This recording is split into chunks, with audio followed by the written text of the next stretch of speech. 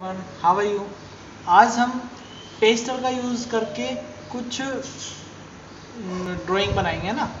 आप so please watch carefully okay okay